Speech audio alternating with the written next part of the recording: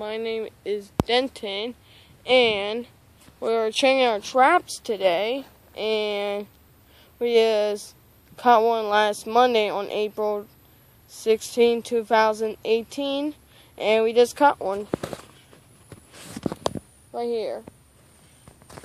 And yeah, um, uh, I can't show you the picture. I don't know how to put my last trout hog when I just caught it.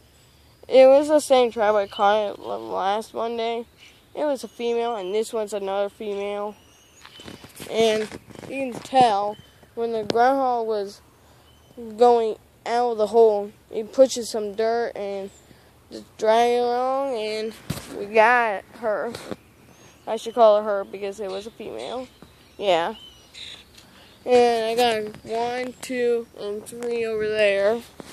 Three footholds at my trap. I'm at those holes, yeah. And I hope you enjoy this video, and I'll see you later. Bye.